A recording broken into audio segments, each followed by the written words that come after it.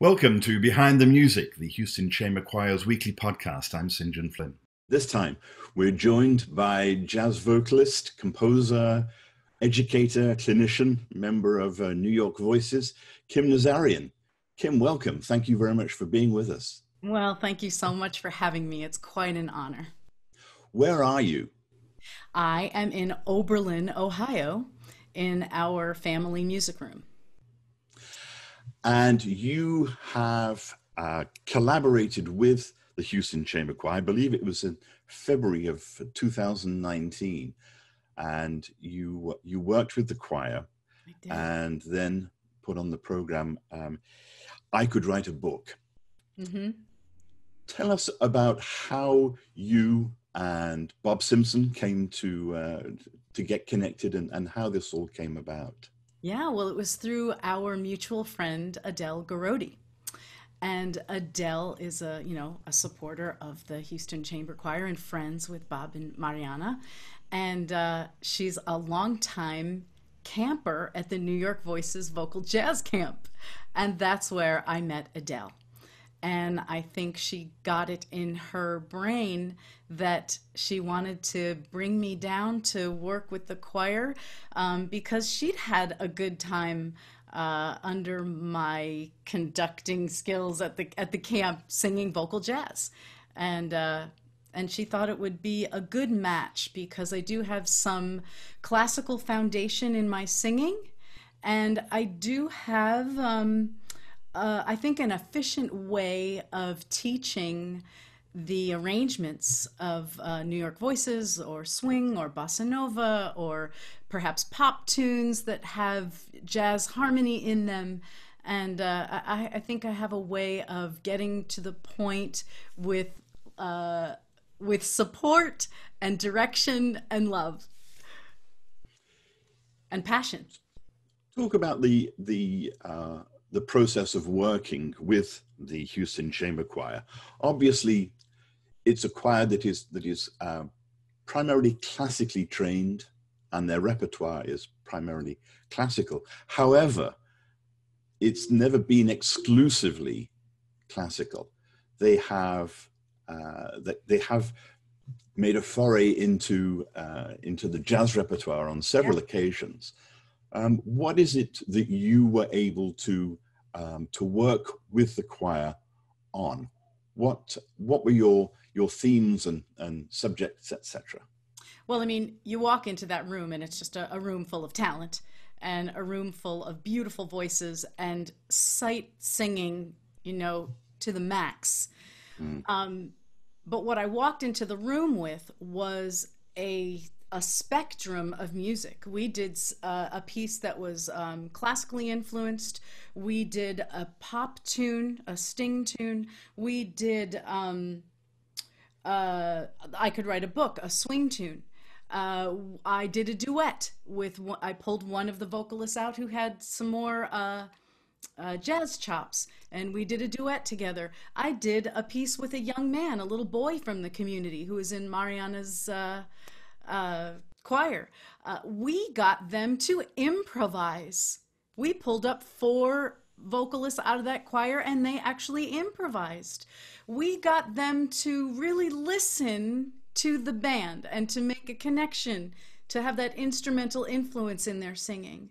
We got them to be conversational so that their language wasn't so formal. We got them to understand subdivision, the same thing that, that the instrumentalists are thinking about. Um, we got them to utilize the lyric and the consonant consonants in the lyric to make it hmm. swing, which is different from the classical world in which all, you know, the vowel is the most important thing. In jazz, the consonant helps you swing and the vowel has to be matched to stack harmony. So there were all these different uh, ways of combining things that they already knew, but to bring other things to the forefront for uh, to to bring the more jazz influence out of them. Is it a question of getting them to unlearn things that they've learned, or is it more a question of taking what they've learned and giving it a slightly different application? I think it's a combination of both. I think you have to unlearn formal diction and you have to come closer to uh, singing the way we speak, which is what we do in jazz. We want it to be more personal, more conversational. Um, you have to have a little bit more speech in the sound. So, more times than not, I don't want altos singing in their head voice because we're not going to hear it and it's not going to ring, right? Because it sounds like that. so, it's it's uh, again um, being able to use your speech and to trust a straight tone, to take the vibrato out so that you can hear the chord, the jazz harmony. One of the uh, pieces that you did on the program was a, a Duke Ellington piece, Blip Blip. Yeah. And that has uh, a very strong element of scat in it. How do you teach a classically trained ensemble to scat? Well, we did some call and response. So it's kind of learning a language. It's learning to say, you know, hello, how are you? Bop, ba, da, da, bop, bam, boom. Hello, how are you? Right? And huh. to, um, to think about rhythm first, to having a really simple rhythmic idea that swings with that medium swing feel, um, to uh, shed fear so that they're actually not afraid to to execute their idea you know because they all have them you know? We're, i think we all kind of improvise in the shower or in the car or when mm-hmm. we hear something right? There's always these ideas go- going on in your head. And and to get them to um, to trust themselves to perhaps rewrite a simple melody over these changes that they knew, this harmony that they know, um, and to have a conversation. And it was very short, you know, they each had like eight bars or so. So it wasn't so much like you throw them in the ocean and they have to swim. It was kind of just, you know, get your toe wet. And there was a lot of positive reinforcement and there was a lot of talent. I mean, there's natural talent some people just do it and they do it well. And and we picked the four people that felt good about that and uh, and wanted to share where they were in their progress of improvisation. We're all a work in progress as far as improvisation is concerned. Mm. and we all have to start somewhere. So uh, so they were encouraged and they did so very well. Because it must be very difficult for uh, a member of, uh, of a, an ensemble like the Houston Chamber Choir to free themselves from the um, the tyranny of the music staff, of you know, of having every note uh, on the staff, and bar lines and time signatures, etc. You have to be able to for to improvise. You have to be able to leave all that behind, don't you? Yes, but you're. It's not like you don't have a net under you. I mm-hmm. mean, there is foundation you do have to know what the rhythmic subdivision is of what you're doing. You do have to know what the changes are, the harmonic changes are. You do have to know what the melody is. And if you can call on these these elements of the music, then you have, you know, a little bit of support to uh, to establish your ideas. How did you see the members of the choir develop over the course of, of the time that you were here working with them? Oh, I think we all kind of relaxed. I think yeah, I think I was nervous when I first walked in. I don't I'm not wasn't quite sure that they trusted me, but then as the week went on, I think we all relaxed. We all got deeper into the music. Uh, we all allowed ourselves to have some fun, and I think they saw uh, with every rehearsal an element of success. I think they felt like they were getting closer and closer and closer to something that they would be proud to present. And it didn't feel so foreign anymore. And I think they were happy to delight their audiences uh, with this material. They were, as a matter of fact, they didn't stop singing. When the concert was over and we were downstairs packing up, they were still singing this uh, song written by my friend Guillermo Nojechowicz it's a, it was a samba called Samba de Maya, and it was wordless, um, and they just they kept singing, and that made me just feel so very good about the work that we had done. So, how do you sing something that's wordless? Uh, Are we in the realm of vocalese here? Yeah, yeah, yeah. No, it, it depends on what it is. If it's a um like a samba would have uh, more L's and M's. Uh, but Maya, ba ba da da da do da ya, la la la la la lula ya, la la la la la lule, lula lula ya. So these uh, these sambas and bossa novas will have more L's in them. When you get into swing stuff, you have more of your it's more information in there. So that's where the but when you have to do it together, everybody has to use the same syllable and it's harder Right. I think than singing words. Yeah. And it depends on who's leading or who's conducting because one improviser is going to have one choice of a syllabic uh, phrase and a, another improviser is going to have another one. So we all have to decide what feels good, what feels authentic, uh, what's comfortable in the mouth, what fits to the melody, and then we all have to agree agree and do it together. And it really makes you realize that the voice is a complete instrument as well. Absolutely. Absolutely. The voice is an instrument for sure. We just have the luxury of adding lyrics to what we do. That's the beauty, one of the beauties of being a vocalist is that you can communicate in in any language if you choose to learn it. Um, and and sing the native tongue of the the people where you know wherever you are, the origins of wherever you are. Um, but then without the lyric, then it does become that universal language. Have you worked with other classical ensembles? Other classical ensembles. I have worked with um, classical choirs in schools, in Right. colleges, high schools. You know, sometimes middle school. They're they're dipping into some of this repertoire, um, and that is where uh, the the music and the influence would would cross pollinate. But that was my first professional classical group. Um, New York Voices worked with a choir in Stuttgart which is, uh, I believe, more classical, and uh, in Stuttgart, Germany. Um, that was a beautiful thing. Hmm. That's what I'm. That's what I'm recalling as far as classical, mo- mostly uh, academic. You were firmly of the opinion that that um, singing is singing. The voice is the voice, regardless of, of whether it's your repertoire is, is classical or it's jazz or it's it's it's something else. The commonality is that idea of the ensemble. Um, the commonality for me, I guess, is the foundation. The commonality between what you do, and it's also how I teach. That you have to be able to produce a healthy sound for your entire career. And how do you maintain that? And then what do you choose? How do you choose to use it? You know, it's like anything else. If you're gonna, if you're a chef, you know, you have to have good ingredients and you can make anything that you want to make as long as those ingredients are good.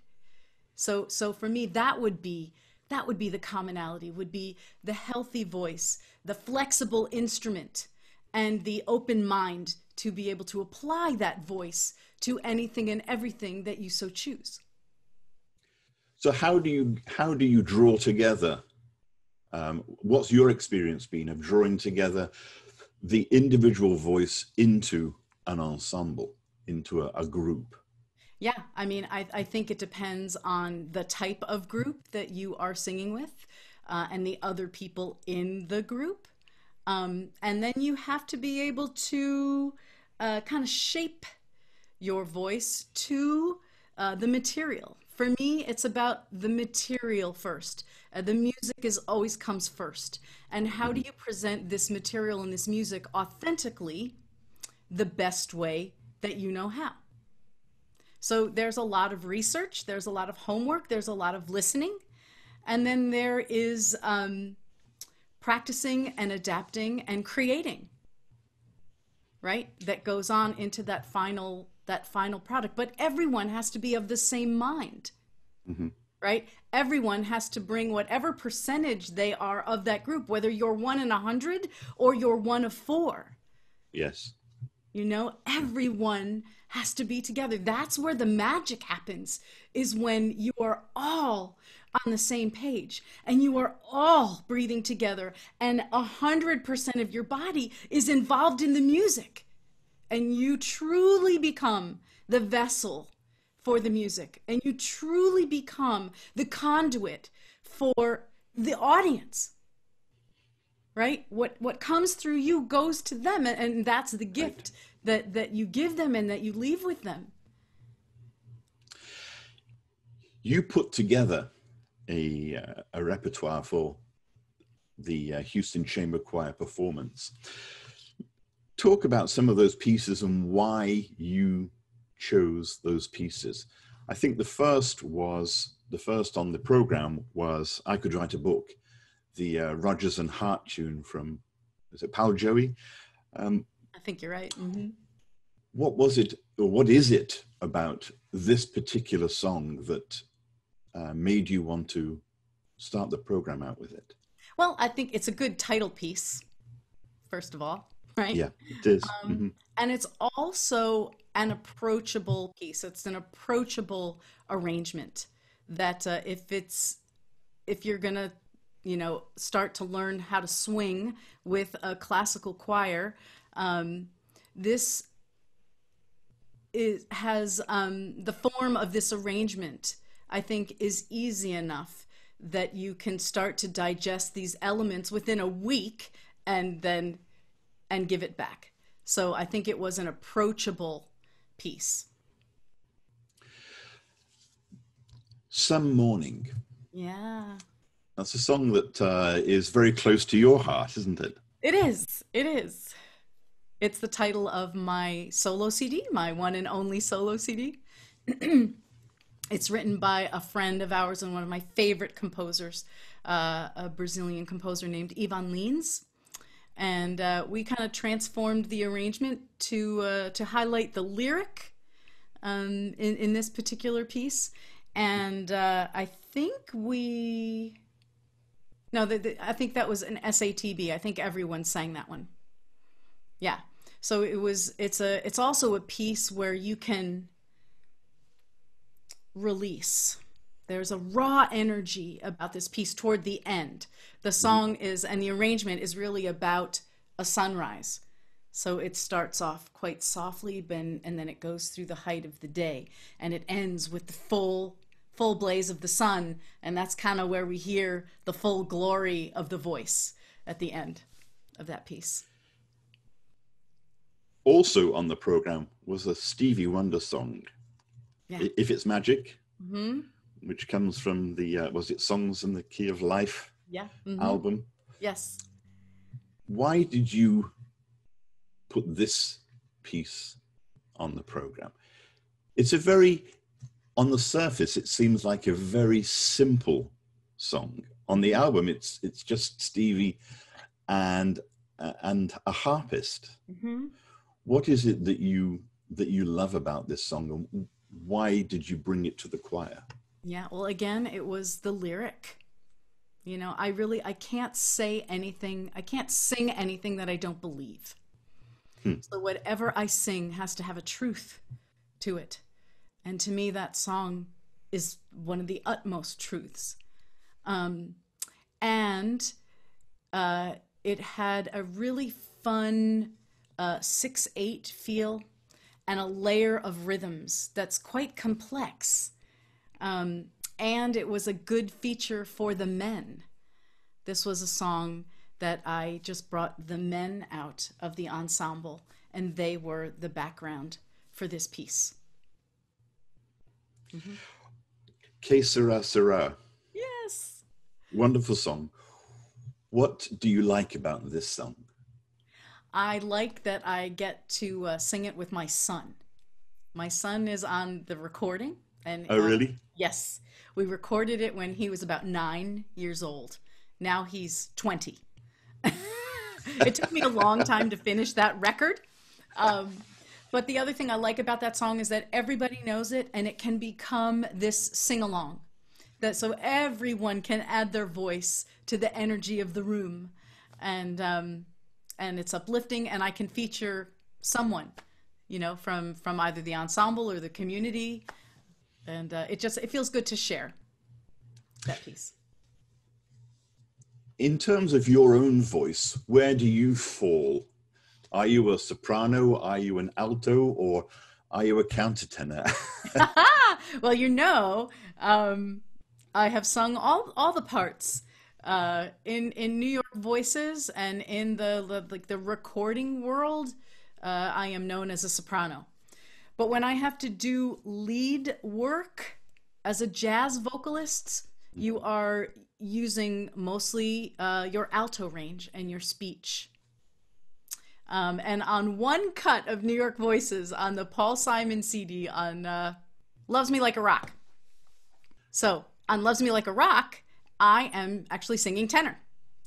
So huh. I don't I don't say I'm one voice or another. I am a singer. I am a vocalist and I can probably sing just about anything you want to throw at me. And if I can't, I'm going to learn it. I'm going to try and learn it. And there are things on my list that I want to try to learn. Yeah, we're never done. what do you still want to learn? I want to learn some Konnakol singing, some Indian singing, those rhythms. Uh, I'm a fan of Sheila Chandra and her speaking tongues work. Um, and I want to learn uh, uh, real salsa. I'm a fan of La India, and I want to sing in Spanish and and really really learn that groove and that idiom and that genre. Those are those are my two things that are next on my list. Let's talk about how you became the musician that you are. Were you were you born and raised in a musical family? Well, uh, they were not professional musicians, but um, my mom was a singer and a clarinet player, and she played piano. And my father uh, was a saxophone player and also mm. learned how to play piano after he retired.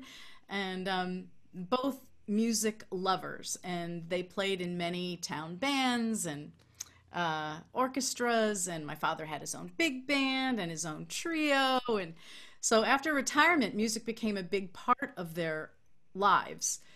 And I honestly didn't know I was going to be a professional musician either. I thought I was going to go into the world of musical theater, but it was the the path that uh, that kept opening for me, and I had to start making some decisions as to what I was going to prioritize. And uh, it was the world of New York Voices that uh, became the priority and musical theater kind of fell to the side and singing backgrounds for pop singers kind of fell to the side and uh, and New York Voices became the front runner. The origins of New York Voices are tied to your years at Ithaca College, yes. where you were uh, undergraduate. Talk about those years. Yeah, we were uh, under the uh, the leadership of Dave Riley. He was our mentor at that time. And um, I was an acting major at Ithaca, but I wanted to do as many musical performing things as I possibly could on campus. So mm. I said yes to just about everything and auditioned for everything. And if I didn't get in, I kept auditioning until I got in if it was something that I wanted to do. And if I still didn't get in, I went and audited the class. So I was no one was going to say no to me at that time in my life. um, but I did actually get into the vocal jazz group when I was a freshman. And I had four years with Dave Riley. And uh, during that time, we recorded demos for publishing companies. I started doing commercials at college. We recorded two records when I was there. Um, and it was in 86 that Dave Riley took an alumni group to the two festivals in Europe, to Montreux and North Sea. And that's when New York Voices was born. He gave us that name. And, uh, and that's when the nucleus of the group was formed, was in 1986. So describe the group. It's, it's now a quartet, but it was originally a quintet? Yeah, and originally, originally it was a sextet There were Okay. three men and three women when we first went to Europe, and uh, we just couldn't sustain that as a professional group. And when uh, we were trying to to revamp when we came back to the United States, um, I, I didn't really want to be another quartet and and compete with the incredible Manhattan Transfer. So I was like, oh my gosh, can't we just be five people? And you know, and Darmon has you know five notes to choose from for for that harmony. And uh, and so we all decided that you know we would try to go with five, and we held our auditions, and there were one, four of us from the original group uh, Peter Eldridge, Darmon Meader, myself, and Caprice Fox. And, uh, and Sarah Krieger joined us to be the fifth voice when we first began. And then uh, after a few years, um, Sarah had had enough of life on the road and wanted to pursue other things. She's now a wonderful voiceover star in New York City. Um, and we are still in touch with her. It's really lovely. And, uh, and Lauren Kinhan took Sarah's place. And then after a while, Caprice was like, okay, I'm not sure I'm in for another record. And then she decided to spend more time with her family and and uh, teach more music and that kind of thing. And and we decided that we didn't want to go through the transition again. And we were fine being compared to Manhattan Transfer because that was always happening. And what an honor of you know for that to happen. Um, so we became a quartet and have stayed that way ever since. And what's the uh, instrumentation? That we work with. Yes. Yes. Yes. Uh, more times than not, you will see us work with a rhythm section, piano, bass, and drums. Um, there are many times when you will see us with a big band. And, and we love being backed by big bands all over the world. And then there's the incredible occasion to actually stand in front of a symphony or an orchestra. And, uh, and those moments are becoming, you know, further apart these days. It's not, not happening as much due to, to funding and that kind of thing. But when it does happen, it is just so magical. Um, so we have had those experiences. We have collaborated with the wonderful Paquito D'Rivera, and we've gotten to work with his rhythm section, which is just so well versed in the Brazilian and Latin worlds, and also with the wonderful Ivan Lins and and his rhythm section. And and that feels different too. It's just it's so incredibly authentic and it is a it's it's like going to school. When you get to stand in front of the Count Basie orchestra uh-huh. you learn how to lay back and swing.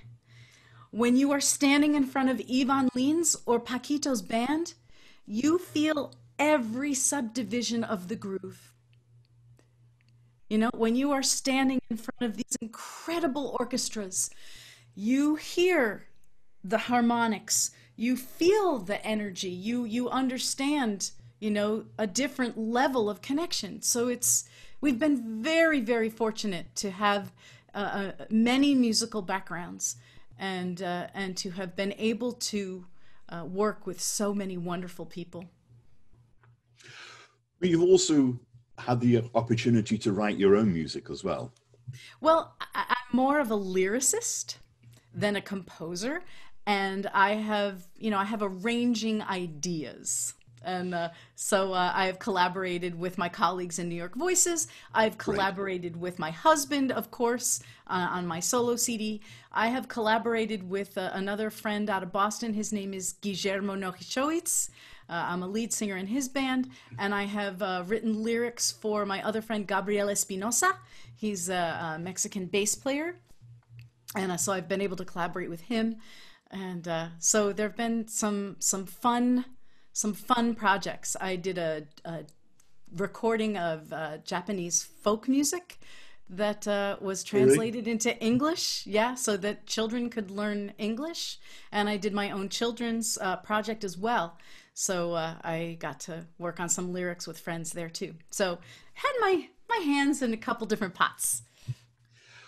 One of the things that, that has developed for you um, is uh, perhaps surprisingly, you weren't anticipating it, is um, work as, as an educator and as a clinician. Yeah, because I never went to music school. And I am actually back at my alma mater. I am back at Ithaca College, helping to build that vocal jazz program there. Um, so yes, that's incredibly surprising to me. but do you enjoy it? I do, and it is incredibly rewarding. Um, you know, there there's one condition, and that's that the students have to meet me halfway. You know, they and and I'm I'm sure this is the same for all teachers. You can only give so much, you know, and you can't do the work for them. It's like it's you know it's like when you have your own children, you can't want it for them they have to want it themselves and they have to they have to bring you know their their passion to the party so so yeah that's my that's my only condition when you put on the jazz camps mm. what's the uh, what's the syllabus like mm. well uh when it's when it's in real time when we are actually able to be together. We actually mm-hmm. did our first virtual vocal jazz camp this past summer, which was a huge success. But the syllabus at our, our vocal vocal jazz camps um, are usually tailored to the people that are coming. We really we put out a swath of classes and we ask them what they would like to take and we we uh, choose the classes that seem to get the most votes and and we figure that out. Uh, they can take songwriting classes they can take vocal technique they can take arranging they can take listening they can take improvisation they can take um, I do a, a, circle song of blues heads and a circle song of rhythm changes. Uh, there's our, you know, our business classes, health and maintenance. There's everything as far mm. as classes are concerned. Uh, and that's kind of the morning. In the afternoon, uh, everyone is placed in a 16 voice choir. So everyone is expected to learn and and perform two pieces at the end of the week with their 16 voice choir, and that's just four rehearsals. Um, and everyone comes with two solo pieces too. And, uh, and if it's in good shape, they are presented in the student showcase. Uh, there are concerts every evening, whether it's New York Voices or the hosting ensemble or the students. And then uh, on the last day, we kind of change it up and, and the whole camp is together the whole day and we bring in a special guest for a, a movement class uh, usually Darmon Meader's wife lori lynn Meader will present a nia class um, which is a low impact movement dancing class.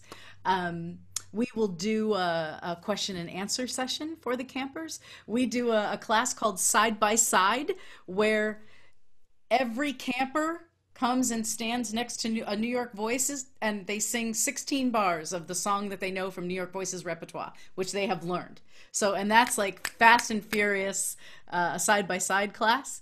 Um, all the choirs sing before all of the New York Voices and just get a few comments from everybody. And then we do our student concert, and then there's it ends with a big New York Voices concert, and the last day is a, a jazz brunch and we have our final presentation. So it is jam packed from 8:30 in the morning with warm ups to 10 o'clock at night. This is the last note of the concert. That happens four days. Uh, four days of that. Uh, we have one night off, and then one big day. So it's it's full. and, and how unique are the, the jazz camps? How unique? Well they are as unique as the people are that come to them. They're, uh, people come from all over the world to our camps. Indonesia japan italy poland slovenia czech republic. They come from everywhere all across the united states canada. Um, and uh, every camp you know kind of has its own energy. And they seem to get better whether they are live or virtual we still mm-hmm. seem to generate this this positive energy of music making. Um, and people people grow. And you know year to year there's no audition. You, you, you never know what you're going to get. The only thing that people audition for are scholarships which we have. Um, so everyone is welcome from the age of 14 to whatever. We've had people in their 70s and 80s come. So we've had multi generations, you know, singing together. It's oh oh I forgot one of the one of the best things is uh, the all camp. Every year, uh, Greg Jasperse writes a new piece for our campers, and they debut Huh. a new song every year, and that's the all camp piece. And and every year that song has a different message. So yeah, obviously part of what burns inside you is the desire to to to take your skill set and your love of this music and this approach to music and making sure that it has a future Absolutely. Absolutely. Keeping the torch alive, fanning the flames, right? And and passing it on with love, respect, passion, care, um respect. It's just for me it's it's kind of the only way to do anything. Whether it's music or it's your family recipes or it's a great book or it's a good movie, it's quality to me is is everything and you know i was raised as you know if you're not going to do your best like why bother? Why bother? Mhm. you know and if you're not going to if you're not going to choose some of the best if you're not going to work with some of the best you know? So it's it's it's hopefully bringing the best out in ev- in everyone. It's like any relationship. Hopefully it's like healthy a healthy marriage that you bring out the best in each other. So as a teacher i want to bring out the best in that musician in that artist. I want to acknowledge what is sacred to them. I, I want to i want to see their soul touch their soul experience them from from the inside out. Yeah. Who were your idols growing up? Well, my idols growing up. Um, at the moment, I would say uh, Ella Fitzgerald wow yeah for sure. Um, not not not so much growing up, but when I you know when I got to college and and with New York Voices and when we we really decided or when I decided that I was going to have a life in jazz. Um, every time I listen to an Ella Fitzgerald cut, I learn something more. And I could have lis- heard it a hundred times, but she, I continue to learn from her. There are solos that, you know, I continue to try to learn that I, I'm not sure that I'll ever master in my lifetime, but you keep trying. So, yes, so Ella Fitzgerald, the school of Ella Fitzgerald for sure. Um, the voice of James Taylor. really Yes. Yes. That voice speaks to me as much as anything, as any sound. When I hear James Taylor, I'm like, oh, okay, everything's going to be all right. that that voice. Um, you know, but growing up it was, you know, Stevie Wonder and Earth, Wind and Fire and the Doobie Brothers and you know, I was a Casey Kasem kid. Every Sunday I was listening to that top 40. Top 40. Getting out of church, the radio was on so I could listen to what was going on. Um, but you know, growing up and watching those wonderful variety shows too with my family whether it was you know Ed Sullivan or Lawrence Welk or um, Sonny and Cher, or the Osmonds, Andy Williams, you know all of those, uh, Dean Martin, Nat King Cole, you know all of those wonderful, wonderful shows. I was glued as a kid right watching watching these things, and I was a tap dancer too. So I started out tap dancing when I was five. So I I was always dancing, tap dancing, tap jazz, ballet, and point. I was choreographing. So if I wasn't singing music, I was dancing to music or I was listening to music and seeing things as a choreographer. So music was always a vital component. What about some of the uh, the voices, uh, the musicians that have captured your imagination today? The voices of today. Um, well, uh, Cyrille Aimée, an incredible talent and, and improviser. uh, Jo Lawry from Australia, an incredible improviser. Um, uh, Veronica Swift, uh, who happens to be part Armenian, the daughter of Stephanie Nakassian. Bright, bright, bright future. John Pizzarelli, just an incredible person, musician, um, radio announcer, uh, personality. Just, I just, I love John. Um, other singers of today.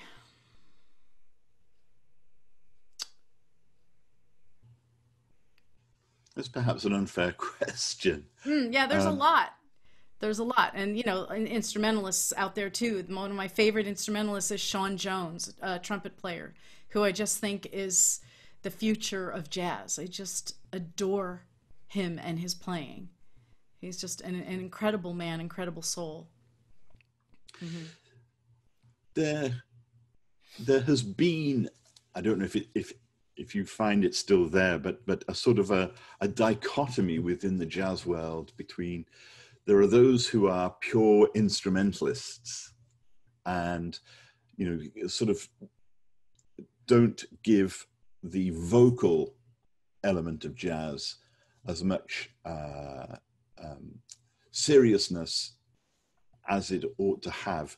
How do you do you come across that, and how do you negotiate that? Yeah, sure. I mean, I think vocalists are constantly trying to validate jazz vocalists validate themselves with uh, instrumentalists and uh, we take it as a high compliment when an instrumentalist uh, listens to our music um, and comments and enjoys what we do and actually wants to work with us. Um, that's a that's a beautiful thing. So we consider ourselves musicians, and so we have been trying to bridge this gap yeah. since the day we formed, and we continue to do that. And I do think it's getting better, um, and and it's what we teach too. It's like you know you don't want to fall into that dumb singer syndrome you know so we have to have the same skills. We have to learn the same material. It's what i'm pushing for for my vocal jazz majors. It's what a lot of vocal jazz majors are graduating with now. So they mm-hmm. have mm-hmm. this language. They have this vocabulary. They can speak the same language to instrumentalists. And um and i do think we are bridging the gap. And i would you know i ask any instrumentalist to try and try and sing. Go ahead. Sing it. Yeah, right. Bobby McFerrin is one of our greatest ambassadors for that, you know, and he has the orchestra sing their parts, and it's inc- right. it's incredible, you know. So um, so I think we all have a responsibility to this, to try and uh, get rid of this ism, and to to validate the vocalist. But you have to, you know, put your money where your mouth is, and you have to be able to deliver the way an instrumentalist delivers, you know, the way most instrumentalists deliver. And what are your current projects? What are you working on that's working filling on? your heart with joy? Ah, well, um, I am taking care of my father, my 87 year old father during COVID. So oh, yes. that brings me joy. Um, I am supporting my son in his third year at Oberlin College. That brings me joy. I have a home with my wonderful husband, Jay Ashby. That brings me joy. Um, I am writing uh, lyrics to one of my husband's melodies. I am writing lyrics to uh, Gabriel Espinosa's melodies for the next for the next record to do with him. Um, and I am building material for my own project, for my own record. Uh, I am also writing my first book. I am writing a vocal technique book. Oh, wow. So, yeah. Yeah. I mean, it might take me another six years. Who knows? But during this time at home and with the support of a good friend who just, you know, wants to stop hearing me talk about it and actually do it, um, she's, she's helping me do that. So, those are the projects that are on the fire right now. Well, look, Kim, we hope that in the not too distant future, you'll be able to come back and, and work with the uh, the Houston Chamber Choir again because I know people loved Oh. the uh, the program when It you were here in so 2019. And I know I I could write a book, yes. Yeah, we, we'd like to bring all the New York voices down and do a, a collaborative thing with New York Voices and the Houston Chamber Choir. That's kind of another lingering dream. There are many dreams, and I hope people continue to dream and to dream big, um, and to get to get through this pandemic on the other side, and that uh, you know there will be some gold at the end of the rainbow. I think for all of us. Well, even in these dark times, we can still get a great deal of joy th- through singing, can't we? Absolutely, absolutely, and it is what we do here in this actual room. Uh, my husband uh, will sit at the piano, even though he's a trombone player and percussionist. My son will play bass. My father plays clarinet, and I sing. And we learn some of these old tunes that my dad knows. And uh, uh, we've presented them at both of our camps, both the the USA New York Voices Vocal Jazz Camp and our European Vocal Jazz Camp, and um, that definitely brings me joy. Yeah. Well, look, thank you very much for taking time to talk to us. It's a great pleasure to uh, to delve into your uh, musical life. Uh, thank you for uh, what you have taught the uh, Houston Chamber Choir. Hmm. I know that uh, that they will build upon that, and we do look forward to seeing you again in Houston or wherever else in the world the choir may be. Thank you very much. Truly, truly my pleasure. And I must say that that performance was one of the highlights of my career. Thank you very much.